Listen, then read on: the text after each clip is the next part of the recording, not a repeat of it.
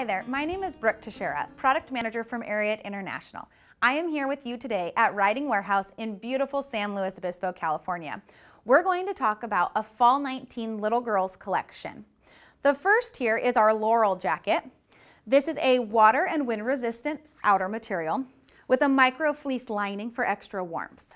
This jacket also has elastic sleeves and pockets, so it's very durable and cute for that little girl and is very affordable. The next piece in this collection is the Emma vest. This vest right now as shown is red on the outside, but one of the great details is it is reversible. The inside has the same print as this Laurel jacket. The last two pieces are these cute graphic tees that can be paired under either this vest or jacket. Cute little details, hearts here, and cute flower detail on the horse on this one. These Fall 19 apparel items will be available on ridingwarehouse.com.